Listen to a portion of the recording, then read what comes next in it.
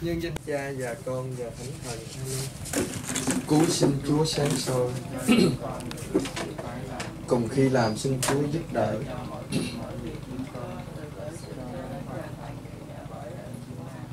là Chúa Giêsu là đứng vào lòng thương xót.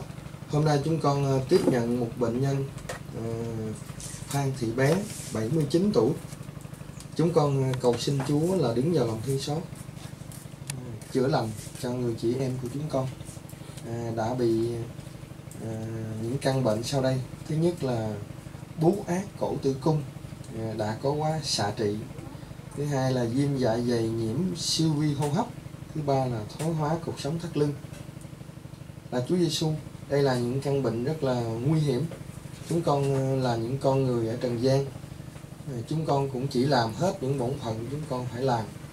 Phần còn lại chúng con à, phó thác cho lòng từ bi của Thiên Chúa là Thượng Đế, là Đấng đã tạo dựng nên chúng con. Xin Chúa chúc phúc lành cho người chị em của chúng con. Chúng con cầu xin nhờ Đức Kitô Chúa chúng con, nhân danh Cha và Con và Thánh Thần. Xin mời sư thầy mọi người ngồi xuống. Bà ơi, bà làm sao bà biết ở đây chữa bệnh? Vì sao con biết được? thấy mẹ bệnh vậy nên lên mạng rồi coi cái thuốc cái này kia rồi mới thấy cha rồi mới vô coi con coi được mấy lần rồi?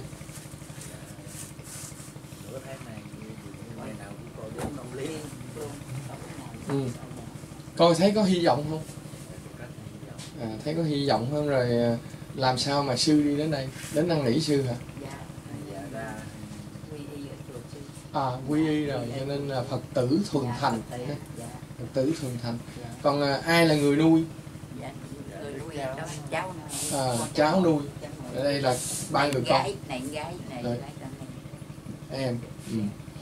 thực ra thì à, à, bệnh của bà là cái bệnh nặng nhất á, là bị u ác u ác cổ tử cung.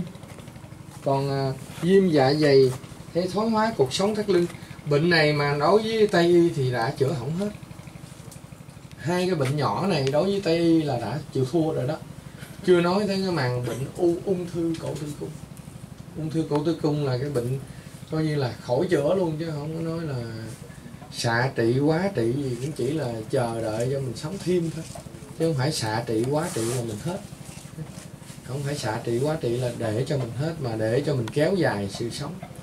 Rồi trong quá trình mình kéo dài sự sống, mình đỡ đau, mình đỡ đau nhất. Nhưng mà quả thật không phải vậy. Khi một người bình thường mà đưa chất quá trị phóng xạ vào thì nó làm cho con người mình bị mất đi là cái cái, cái sức mạnh. Vì cái chất đó là cái chất để mà nó khống chế cái con vi trùng. Nó làm cho con vi trùng phải tê liệt. Nhưng mà tê liệt thôi chứ không phải làm cho nó chết. Hiểu không? Do vậy mà bà năm nay là 80 tuổi rồi mà bà chấp nhận xạ trị là bà sức khỏe tốt lắm. Mà bà đã từng ăn chay phải không? Dạ.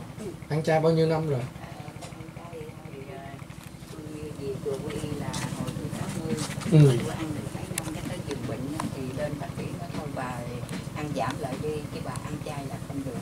Bà ăn chay là bà yếu sức khỏe dữ lắm. Rồi tôi về tôi cũng ăn cũng ờ, mua tép bò hai cá tắn đồ vậy đó tôi ăn vậy chứ còn mấy cái thịt kia tôi cũng không dám ăn nữa tôi ăn. Rồi cái sư cô ờ, cũng bàn nói thôi giờ ờ, tôi ráng ăn chay đi. Mà ăn rồi chừng 5 ngày rồi tôi đi tôi không thấy đường đi. Cái mặt đi thì sạch trong mặt không thấy đường đi. Rồi con cũng nguyện con cũng con cũng nguyện với ờ, Phật ờ, pháp này kia con nguyện rồi con cũng ăn được ăn mà cũng ăn một tháng là 10 ngày một năm ba tháng. Dạ. Năm ba tháng tháng 10 ngày là tới ngày đó tới giờ có cái từ mà hôm xả trị tới nay là tôi ăn có 10 ngày chứ ăn không nổi ba tháng sao? Ừ. dạ dạ rồi ờ, con tôi nó thấy vậy nó nói giờ má làm sao con không dám bàn tự ăn cái chuyện ăn của má mà má ăn được cái gì để ăn thì ví dụ con bò đã bắn thôi ăn chiều dài con với chừng hơn nữa chén cơm chén cơm đã lại thôi cha chứ không có ăn nhiều nữa vậy Ừ. dạ Ừ. rồi con con con nó nằm nó bắt lên nó thấy rồi cái nó nói "Má ơi giờ con thấy ờ, cha ở dưới ờ, trà vinh mà trị bệnh nhiều kiểu lắm mà thấy vậy cái bệnh của má thôi giờ con để đưa má xuống dưới ờ, rồi ờ, ờ, trị nha má cái rồi nó hỏi là cha nói là phải có người hướng dẫn. Là cha mới nhận chứ còn không có người hướng dẫn nhận được rồi, cha mới nói là ở chùa sư cô vậy đó. Rồi về nó mới ra cô, cái cô dẫn đi liền. Cha dạ thôi con cũng đốt xuống đây thưa cha.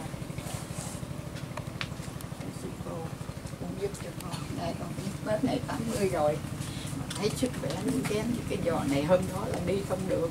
Rồi cũng nhất rồi về uống thêm thì này thấy đi cũng được nhắc dẫn cho hôm đó là đi không được còn cái đó bên của tôi nó thì từ hồi xạ trị về hôm nay cũng mấy tháng rồi ạ ừ. hôm tháng nào tôi cũng quên nữa đi hôm tết mà tới tháng nào đó về à, tháng 2 hay tháng nào không? là cho xạ 25 ngày mà còn Ừ. có 22 hình như vậy chịu không nổi quá con mệt quá con không nổi con lại nói bác sĩ nói con con lại nói bác sĩ ơi cho ông về chứ ngờ đây chắc chết tại đây quá à.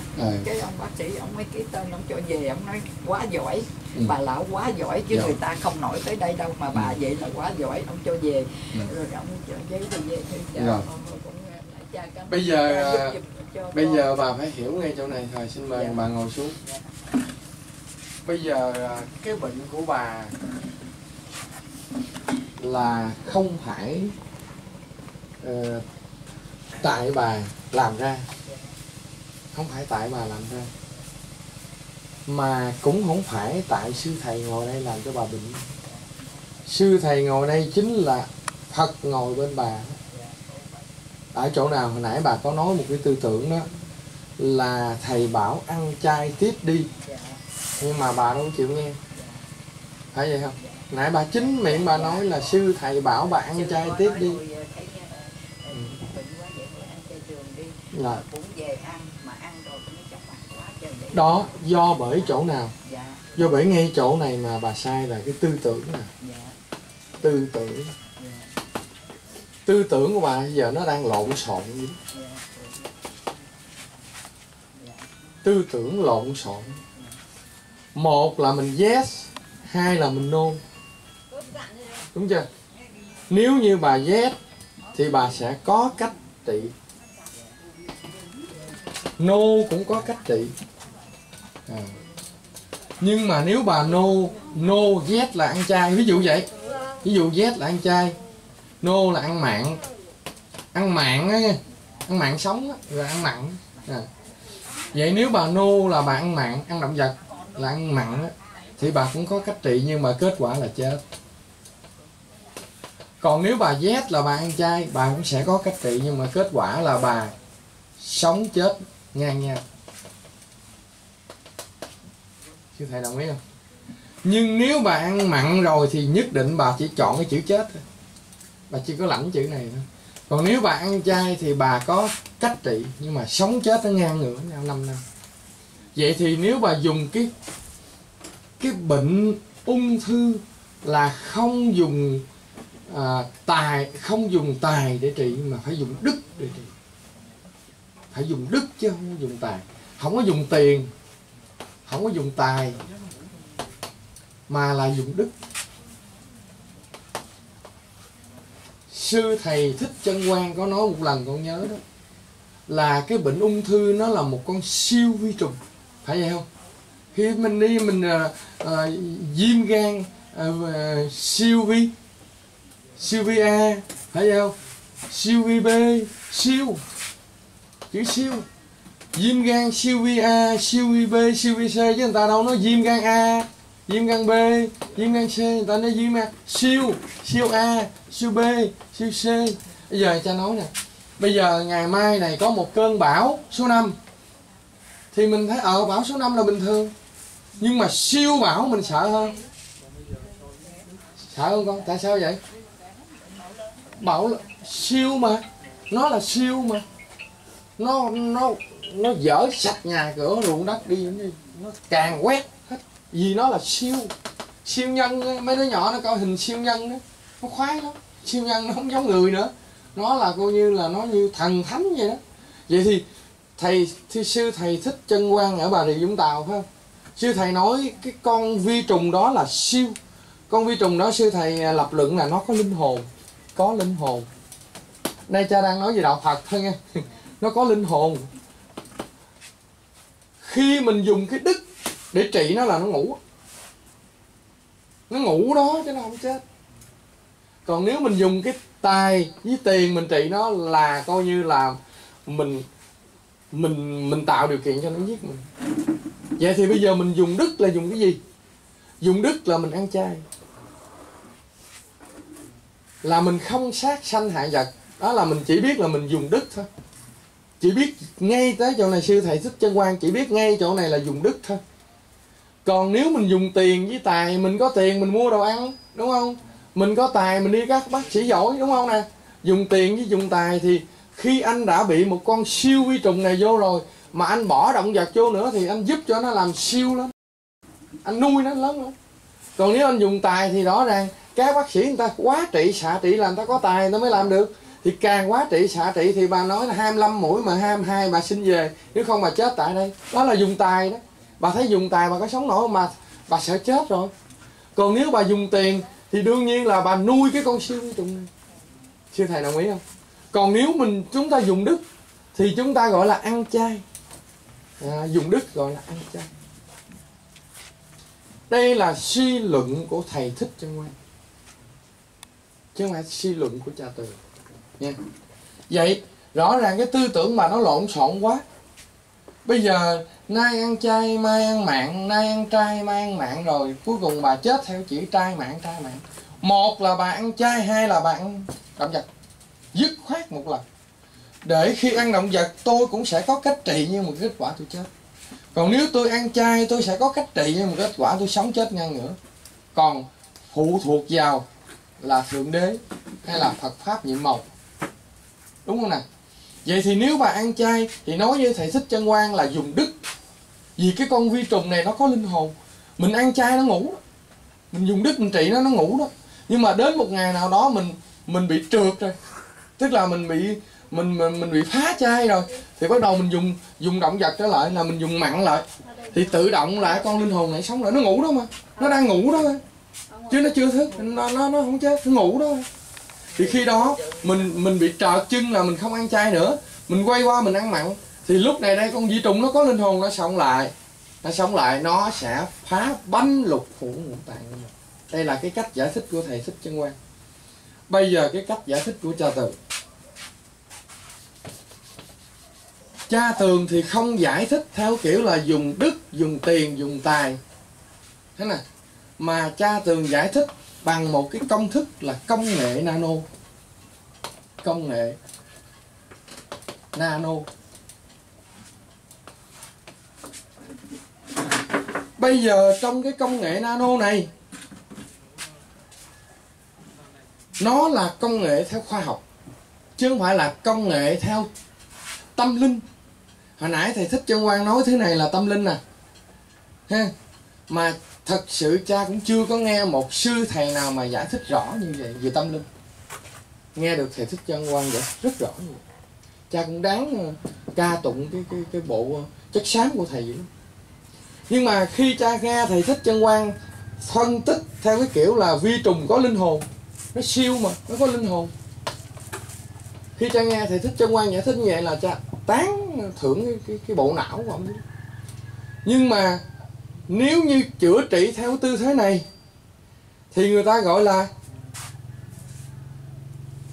gọi là gì? Hả? Mê tín. Ta gọi là mê tín.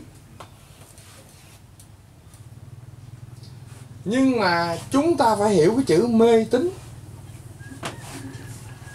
Tôi chữa trị như vậy đúng nè, tôi chữa trị như vậy là tôi không mê tín nè nhưng mà người thế gian nó không hiểu, nó cho là mê tín. Vậy mê tín là gì? Định nghĩa mê tín.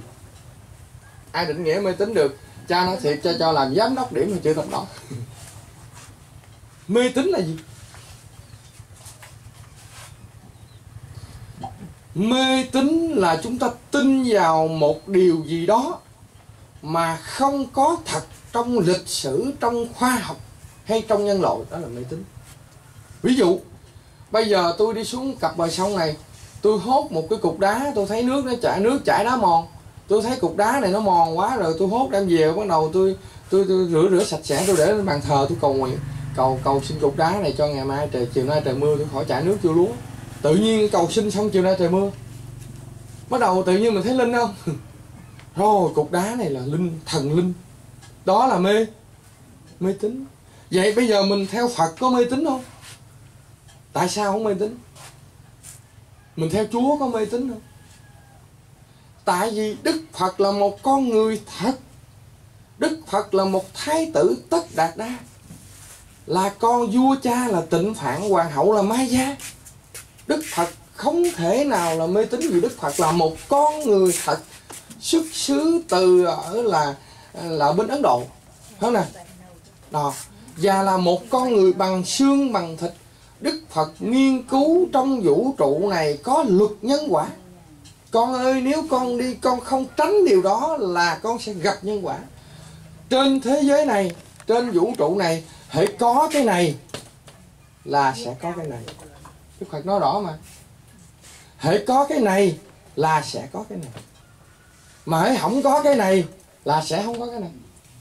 Vậy thì nếu hãy anh ăn chay thì anh sẽ giảm đi sự chết hãy ăn ăn mặn. Thì anh sẽ tăng cường sự chết. Thấy nè? Vậy đức phật nói, con ơi, trên vũ trụ này có cái luật nhân quả. Nếu có cái này thì sẽ có cái này. Nếu có cái này thì sẽ có cái này. Nếu con gieo nhân này, con sẽ gặt cái quả này ngay cho nên, ở trong đạo Phật, nó có một cái chỗ rất là hay. Mà thật sự cha nói mình làm không nổi. Chỉ có những vị sư này người ta mới làm nổi. Là bởi vì những vị sư này là người ta ăn những cái của đàn na tính thí. Thì khi người ta ăn những cái công đức của đàn na tính thí đó người ta tối ngày tụng kinh niệm phật cầu siêu độ cầu cho các uh, uh, quốc gia trên thế giới là an khang thịnh vượng. Còn mình tối ngày mình ăn chơi không mà mình ăn của đàn na tính thí nữa chắc đời mình tàn như bao phích. Rụi luôn. Rụi tàn hen cho nên nhớ lại cái cái thức ăn, cái cái mà người ta đưa cho mình đó, thì tốt nhất, mình không phải là người tu hành thì tốt nhất mình đừng nhận. Vì mình nhận, mình gánh không có nổi mình nhận là mình gánh không có nổi còn những vị tu hành như vậy thì ta nhận được. Bởi vì người ta không có cái điều kiện để người ta tạo ra cái thức ăn người ta chỉ có một cái điều kiện để người ta tụng kinh niệm phật, cầu siêu độ, rồi người ta cầu cho quốc thái dân an. Do vậy mà người ta ăn cái của đàn na tính thí người ta không mắc lỗi. Thấy vậy nè. Còn mình á, thôi nghe con. Của đàn na tính thí khó vì đức phật nói hãy có cái này thì sẽ có cái này. Tức là hãy có cái điều kiện này thì nó sẽ đẻ ra điều kiện này. Hãy anh gieo cái này, nó sẽ gặt cái này mà nó gặt cái này, thì nó gặt tiếp nó không dừng lại được. Vậy thì bây giờ cha nói trở lại. Mê tín là gì? Mê tín là anh tin vào một người nào đó mà trong lịch sử không có. Một vị nào đó mà khoa học không biết, không chứng minh được. Rồi một điều gì đó mà truyền thống nhân loại không hiểu biết, đó gọi là mê tín. Thí dụ như bây giờ một người mà đi câu chỉ tay. Đi câu chỉ tay có mê tín không? Coi chỉ tay không có mê tín. Vì lý do chỉ tay là khoa học có sách vở. Thế nè một người nào đó mà trùm một cái tấm vải đỏ lên đầu rồi âm ba là âm ba là rồi là à, gọi hồn người chết. Đó là mê tín. Hoặc là ừ, đốt đốt miếng giấy rồi bỏ vô trong ly nước. Rồi quậy tan tan cho mày uống hết bình. đó là mê tín. Tôi chỉ tay không có mê tín. Vì trong sách vở nó có không có mê tín. Như cha nãy nói, định nghĩa mê tín mê tín là gì? Mê tín là mình tin vào một điều gì đó mà xã hội không biết. Khoa học không chứng minh được. Và nhân loại không có. Đó là mình mê tín. Còn mình tin vào đức phật không mê tín gì đức phật là con của vua cha là tịnh phạn hoàng hậu là mai gia, đức phật là thái tử, tất đạt đa. Không mê tín, ông là một con người thật. Vậy, đức chúa giêsu có mê tín không? Đức chúa giêsu là con của bà maria, không có mê tín ở đây. Không nè, con của đức mẹ maria, nhưng được mang thai là do quyền năng của chúa thánh thần. Cho nên Đức Chúa Giêsu là người Do Thái ở Nazareth. Ở đó con của ờ, cha nuôi là Thánh Du Xe mẹ là Đức Maria rồi. Đức Chúa Giêsu đi rao giảng, đi chữa lành, đi dạy dỗ. Đó là những con người thật xã hội lịch sử chứng minh không mê tín. Vậy, khi thầy thích chân quan trình bày cái cách chữa ung thư như vậy, chữa nan y như vậy, thì người ta nghe vô đúng dữ lắm, nhưng mà ta kết luận là mê tín. Nhưng mà quá thật không có mê tín. Không có mê tín hôm nay cha giải thích với sư đồng ý không? Cha giải thích mới hiểu tới. Còn cha không giải thích, thật sự hết những người này không hiểu. Không hiểu chữ mê tín là gì? Không ai hiểu chữ mê tín. Vậy, đây là cái cách thầy thích chân quan giải thích về một cái con siêu vi trùng có linh hồn. Vậy thì, đối với thầy thích chân quan là anh phải dùng đức. Anh mới thắng. Vì đây là một con siêu vi trùng có linh hồn. Khi anh dùng đức, thì nó sợ anh nó ngủ đó nhưng mà một ngày nào đó cái đức này nó đứt rồi. Nó mất rồi. Thì anh phải dùng tiền và tài. Thì dùng tiền là đương nhiên con linh hồn con siêu vi trùng này nó sống lại nó phá hết tục phủ ngũ tạng là, là nó xí giết anh. Vậy đối với thầy thích chân quan dùng đức là ăn. Ăn chay mà dùng tiền tài là ăn. Tiền tài là ăn. Ăn mặn. Dùng đức là ăn chay. Mà hãy dùng tiền với tài là ăn mặn đây. Vậy thì nếu ta ăn dùng cái bệnh siêu vi trùng này của bà đây đây là bệnh của bà. Nếu ta dùng tiền nhà tài thì ta sẽ có cách trị nhưng mà cuối cùng là chết cách trị là xạ, xạ trị quá trị là mổ là cắt. Nhưng kết quả là chết. Còn nếu chúng ta dùng đức thì chúng ta sẽ có cách trị. Ăn chay ta sẽ có cách trị là nửa sống nửa chết nhưng mà cái sống nếu chúng ta có chết đi chăng nữa chúng ta không chết trong đau đớn. Phải không nè người ai cũng phải chết. Mà không chết trong đau đớn, chết trong bình yên, chết trong yên diệu nhưng ngược lại, nếu ta ăn chay thì ta sẽ sống, sức sống ta mãnh liệt hơn. Bởi vậy cái tư tưởng bà lộn xộn hồi nãy, bà kể bà nói bà ăn chay kiểu này, ăn chay kiểu kia. Cuối cùng phật ngồi cái bên biểu ăn chay đi. Bà đâu có nghe. Tới đây cũng phải ăn. Tới đây rồi cũng phải bây giờ đây là cái cách mà thầy thích chân quan giải thích là một cách chữa trị con con siêu vi trùng có linh hồn là ung thư tử cung đó. Bây giờ tới phiên cha giải thích bằng khoa học. Đây là một hình thức giải thích theo tâm linh. Bây giờ cha giải thích bằng khoa học là công nghệ nano. Bây giờ nếu mình dùng tiền, mình dùng tài, mình dùng đức, thì mình dùng ba cái thứ này. Đối với thầy thích chân quan thì chỉ dùng đức thôi. Còn đối với cha là dùng đức tiền nhà tài nữa hay quá trời hay. Tận dụng hết ba thứ này. Bây giờ tôi dùng đức là gì? Tại sao tôi dùng đức? Đó. Bây giờ cha có thể bôi cách thích chân quan được chưa? Hiểu không? À, bây giờ cha sẽ đây là cách giải thích của thầy thích chân quan nha. Bây giờ cha cha cha bôi cách giải thích của thầy thích chân quan bây giờ tới bây giờ cha cha sẽ bôi ra. Bây giờ cha sẽ giải thích cái cách của cha. Ừ. Cách của thầy thích chân quan hay vô cùng bây giờ cha sẽ giải thích cái cách của cha để cho biết là chúng ta sẽ dùng ba thứ. Đức, tiền, tài. Ba thứ. Nha. Bây giờ cái cách chữa trị cái con siêu vi trùng này đó là cha dùng công nghệ nano.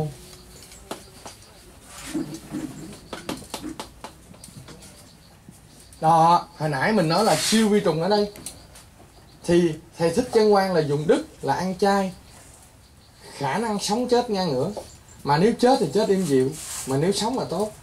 Còn nếu dùng tài và tiền nhất định sẽ có cách chữa trị, nhưng đi chết. Bây giờ cha sẽ dùng công nghệ nano này, trong này có đức nè, trong này có tiền nè, trong này có tài. Cha dùng ba thứ hết. Cha kết hợp ba thứ này, cha cho nó là công nghệ nano tại sao cha dám dùng ba thứ này mà thầy thích chân quan là thượng tọa thích chân quan mà thượng tọa thích thích chân quan chỉ dùng một mảng thôi. Vậy còn hai mảng này để chi đây? Bây giờ tại sao cha dám dùng thêm hai mảng này? Bởi vì cha biết trong cơ thể của con người, đây là một con người. Trong cơ thể của con người, nó có 70% là nước. 70% là nước. 30% là chất rắn, gọi là chất cứng. Nước là chất lỏng. 30% là chất cứng. Vậy thì cha biết trong con người của ta có 70% là nước 30% là chất cứng. Vậy áp dụng vào vũ trụ này, tạm gọi là một cái vũ trụ của mình là nó là hình vuông hay là hình tròn hả? Người tạm gọi vũ trụ mình hình ở clip vậy đấy vũ trụ này, đây là vũ trụ. Vũ trụ này có 70% là 70% là gì? Là nước. 70% nước. Đây 30% 30% là cứng, là đồng bằng. 70% là biển à, cho dễ hiểu. Biển chứa gì? Nước. Còn à, đồng bằng chứa gì?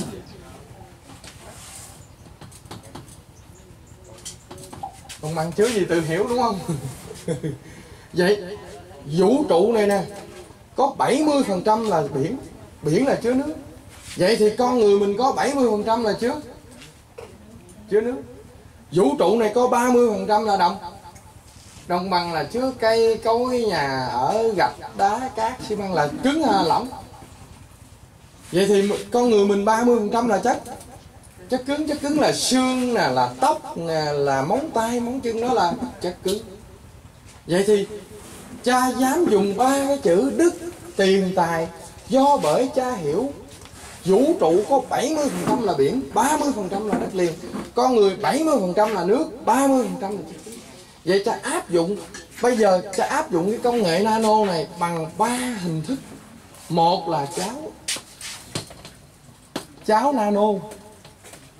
Ở nhà con có nghe cháo nano chưa? Nghe rồi nghe hết được không nè? Thì cha không giải thích lại nữa nha. Cháo nano này là mình nấu từ gì? Từ gạo.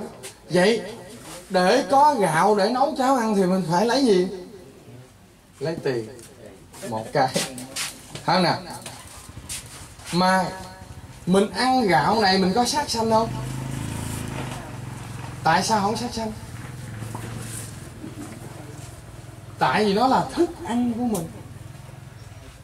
Vậy thì mình lấy tiền mình mua gạo. Đó là mình dùng một cách, đúng không nè? Còn mình mua gạo mình ăn là mình đang dùng là đức. Mình ăn gạo mình có sát sanh không? Vậy này đức hay là là giữ hay là lành lành là đức. Không nè, thứ ba là mình dùng tài. Tài của mình là gì? Là tôi nấu cái cháo này thành cháo na. Tôi biết tôi có cái tài, thay vì tôi nấu, bỏ một nắm gạo vô son tôi nấu, nở ra là tôi ăn. Đó là tôi biết nấu tự nhiên, nhưng mà bây giờ tôi nấu, bỏ một nắm gạo vô son tôi nấu ra thành thuốc, có phải là tài không? Phải vậy không sư vậy thì đối với thầy thích chân quan chỉ dùng đức thôi. Thì cái con di trùng này nó sẽ ngủ. Đến khi nào mà mình dùng tiền với tài nó sẽ sống lại. Còn khi ông cha tường dùng đức, dùng tiền, dùng tài là mày không ngủ nữa mà là mày đi chết chứ không ngủ được. Đúng vậy không thầy ta? Phải vậy không? Mày phải đi chết luôn nha mày. Bằng chứng là cha chịu quá nhiều ca lành tính thì nó đi chết, phải vậy không? Mày phải đi chết luôn chứ không có mày không chỉ ngủ của người tao một là mày phải đi chết, hai là tao đi chết. Vậy nếu cha chỉ dùng đức như thầy thích chân quan thì nó ngủ. Sẽ một ngày nào đó mình trượt chân, mình ăn mặn là nó thức rồi. Còn bây giờ cha dùng đức là cha lấy cháo, là cha ăn cháo, là cha nấu sắc xanh là đức. Rồi cha lấy tiền cha mua gạo thì đó là dùng tiền. Thứ ba, cha dùng tài của cha là gạo mà cha nấu thành cháo nano thì nhất định là cha phải đuổi nó đi thôi, chứ họ nó không được phép ngủ. Phải vậy nè. Điểm thứ nhất, điểm thứ hai cha dùng luôn cả lá rừng. Lá rừng và rau dừa. hôm nay cha chỉ nói bao nhiêu đây thôi là đủ biết cha chữa bệnh có kết quả. Nha, chỉ nói nhiêu đây thôi. Vậy cái cách cha chữa bệnh như vậy có mê tín không? Mà cái cách thầy thích chân quan giải thích hồi nãy là có hơi mê. Nhưng mà không mê tín ở chỗ là bởi vì rõ ràng là chuyện thầy thích cho quan chữa bệnh không mê tín. Nhưng mà người ta không hiểu chữ mê tín là gì. Người ta cho là mê. Mê tín. Nhưng mà cũng là một cách giải thích đó. Cha không dùng cái chữ đức thôi. Cha dùng chữ tiền và chữ tài nữa. Đập luôn á, thằng con siêu vi trùng này. Chết tại chỗ. Ỉa ra khỏi khỏi cơ thể mình phải vậy không? Mình phải như vậy mới được chứ. Nếu con dùng cái chữ đức này thôi, thì nó ngủ. Một ngày nào đó nó như bà đó ăn chay hai chục năm nhưng mà ăn nữa ăn nữa không nữa ăn nữa không bữa nào ăn nó ngủ bữa nào không ăn nó thức. Phải vậy nè? Cơ thể mình khi mà nó yếu rồi là nó đập. Còn khi mà mình khỏe lên là nó đập. Vậy thì bây giờ chúng ta không dùng đức mà kể cả tiền lẫn tài. Vậy. Vậy thì con di trùng này tuyệt đối không được ngủ mà phải phải thì đây là một hình thức tra chữa bệnh sư thầy hiểu rồi ha à, bằng một cái công nghệ nano. Công nghệ nano là nước. Do bởi cha biết cơ thể mình là 70% là nước thì uống nước vô là nó hợp không? Đó nè. Còn 30% là chất cứng là xương là tóc thì trong nước này nó có 30% khi mình uống vào thì cái nào mà nó nuôi sống mình được là nuôi còn cái nào mà nó hỗ trợ cho xương cốt của mình là nó hỗ trợ. Đúng không nè?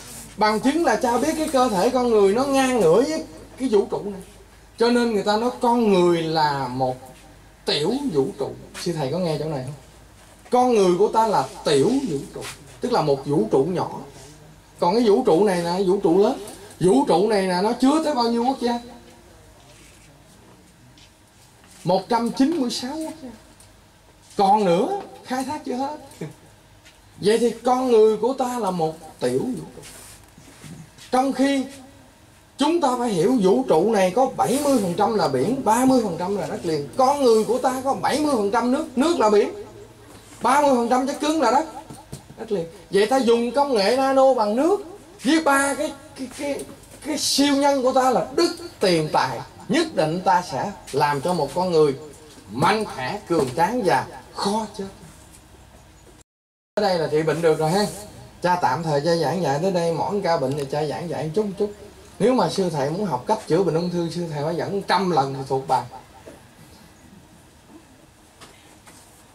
dẫn đi tới đây trăm lần là thuộc bài mà sư, hồi nãy bà có nói, Phật ngồi kế bên ta mà ta không hay.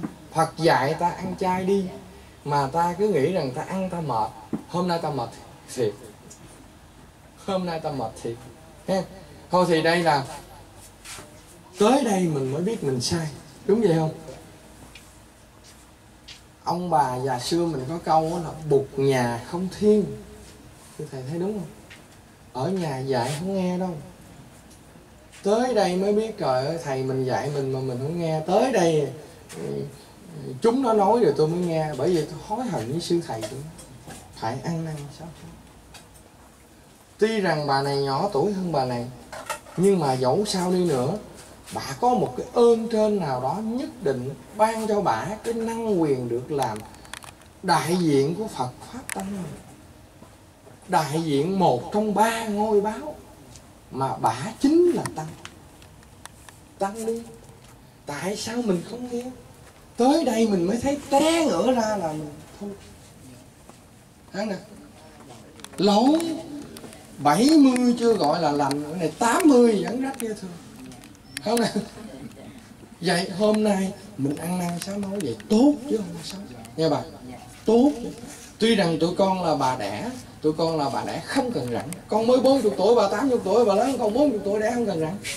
Nhưng anh bao nhiêu tuổi không cần biết. Tôi bao nhiêu tuổi không cần biết. Tôi với anh là yêu thương nha.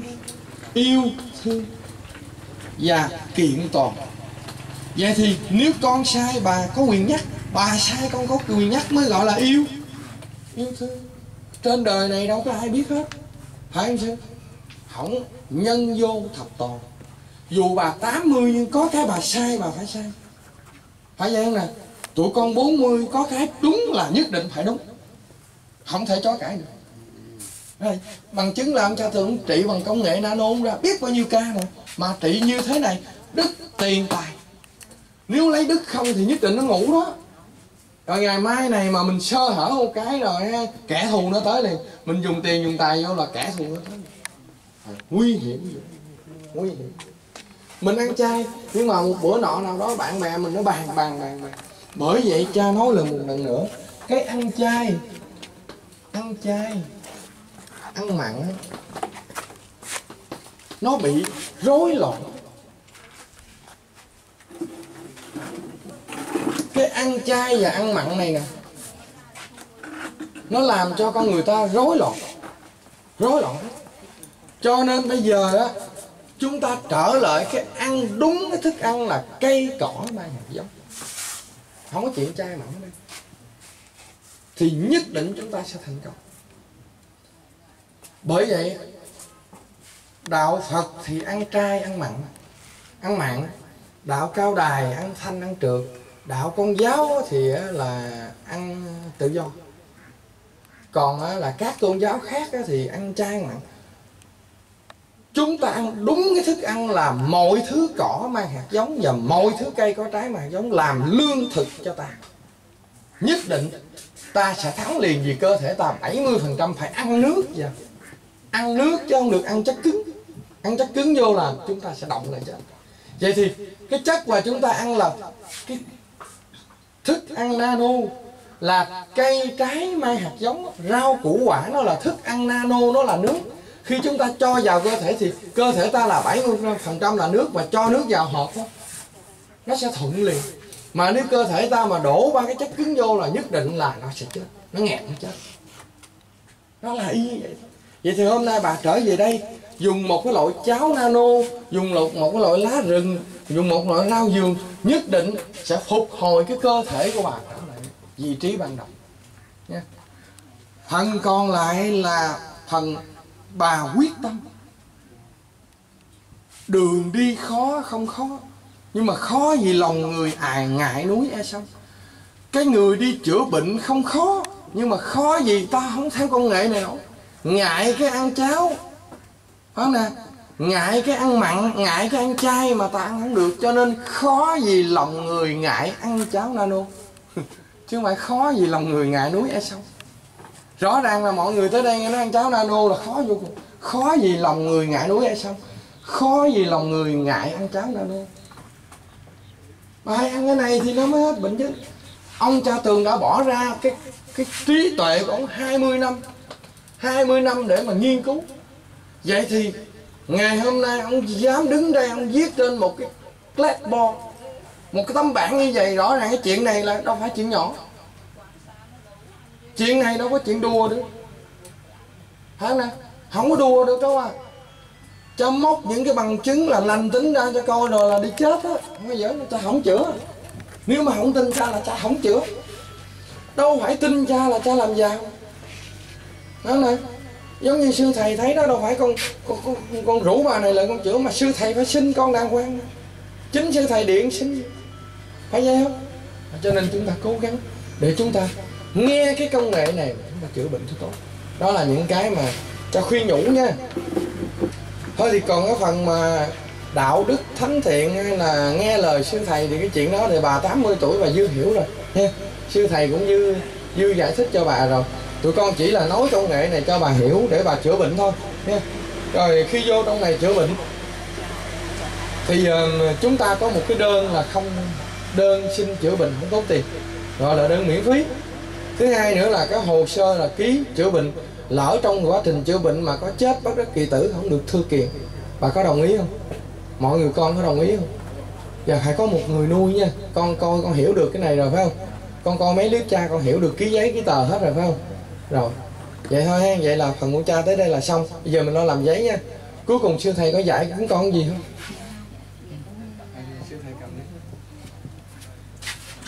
Nam mô a di đà phật. À, trong à, tôn giáo à, có những cái tâm linh và à, sư cô đến đây cũng à, nhờ cái à, sức à, trị của cha tường để mà cho tất cả phật tử à, nương vào đó để mà à, giải thoát và được an ổn trong cái lúc trị bệnh Dạ, cũng à, có lời cảm ơn à, cha cha Tường đã bỏ hết công sức trong tấm lòng yêu thương à, không tốn tiền này để phục vụ cho nhân dân và tất cả đồng bào. À, sư cô lấy lấy lời cảm kích. Dạ, cảm ơn nhiều. khi sư cô nói vậy con mới nhớ khi sư cô ở nhà đó thì sư không biết được cái công nghệ này đâu mà khi sư tới đây sư thấy công nghệ này làm cho mình sáng ra mà rõ ràng là nếu sư cô để phật tử này ở nhà là sư cô và phật tử dòm nhau chờ chờ chết. Phải vậy không?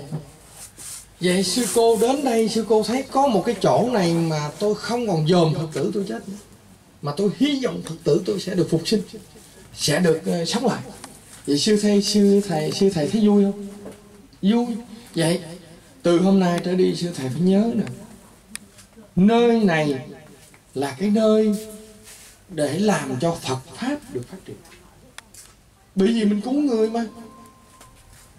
Giờ đây sư thầy phải nhớ, cái nơi sư thầy ở, cái chùa sư thầy đó là nơi để giới thiệu Phật pháp thôi.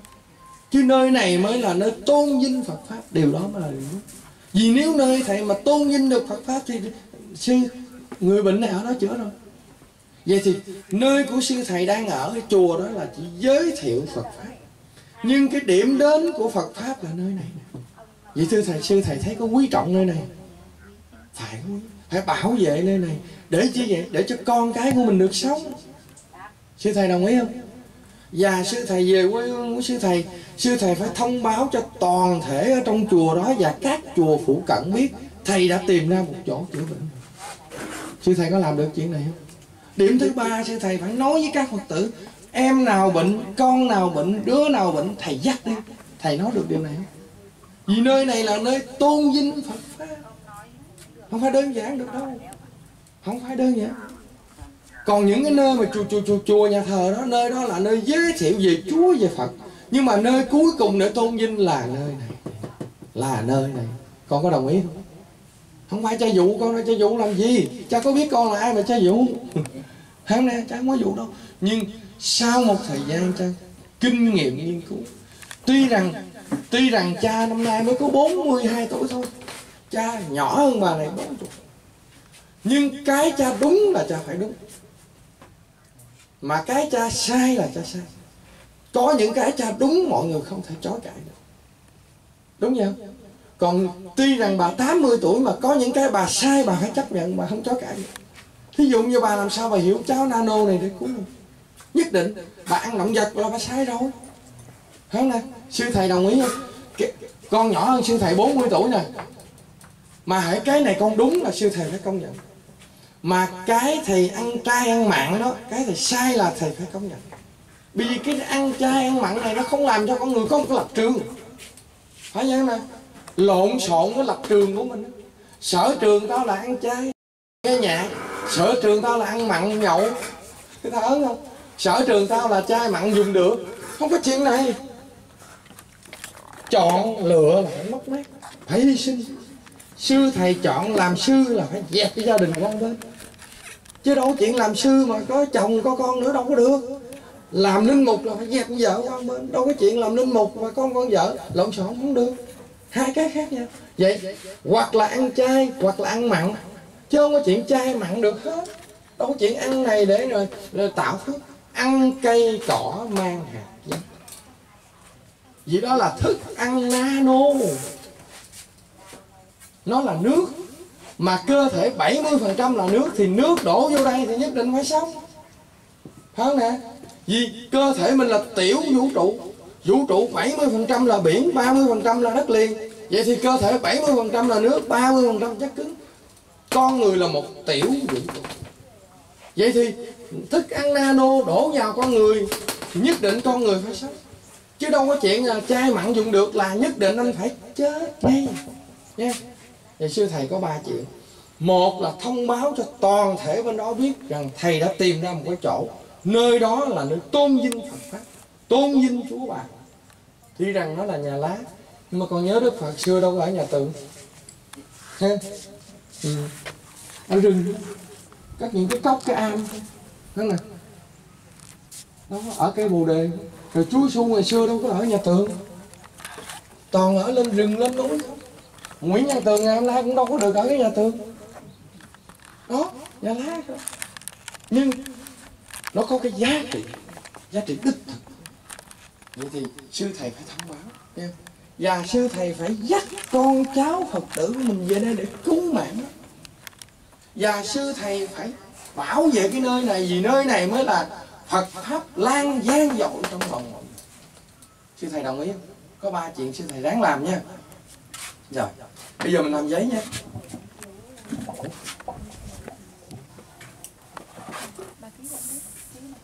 chị bé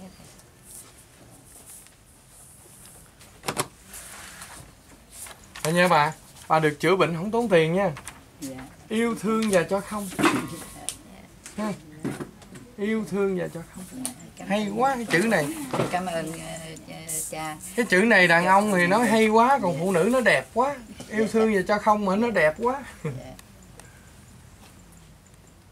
này là đẹp quá quê hương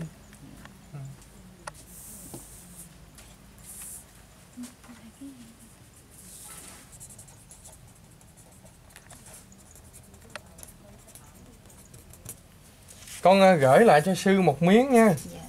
Rồi sư đem về chùa sư giữ trong mình đó. Để khi nào mà có ai bề trên của sư đó hỏi sư đi đâu thì sư có miếng giấy này sư gỡ ra nhé. chiếu ra. Mình làm bằng chứng để mình à, cho thấy rằng là mình không có lộn xộn. Đây là cái mộc hồi chữ thập đỏ nhé yêu thương và cho không. Do vậy mà sư thấy đó giờ sư sẽ giữ lại miếng con giữ là đang miếng ha. Rồi. À, lát nữa các thầy điền chữ vô đây nha. Các thầy điền chữ vô đây điền nội dung vô đây nó mới có hiệu lực nha rồi bà ơi mọi người đã đồng ý chấp thuận ký tên cho bà hết rồi ha. À, cha ký cho bà chữ ký này chắc có bà sống trăm tuổi luôn bà sống y như chữ ký này luôn ngàn trăm tuổi ha. rồi nhất định ráng sống nha rồi đó là phần của cha đã xong. Bây giờ mời mời bệnh nhân và sư thầy à, sư thầy đưa bệnh nhân vào phòng khám để các thầy à, chứng minh cho các thầy khá một lần. Rồi mình về mình ngủ chỉ yên tâm. Nhé rồi, ok. Rồi, thôi mình đứng lên đọc kinh nhé sáng danh đức chúa cha và đức chúa con. Như đã có trước, vô cùng và bây giờ và chúng con thì danh chúa nhân từ cho các chúa nguyện ra sáng láng vui vẻ vô cùng. Nhân danh cha và con. Và thánh thần Thiên Chúa là tình yêu. Nơi nào có tình yêu thương là ở đó có Thiên Chúa ngự trị.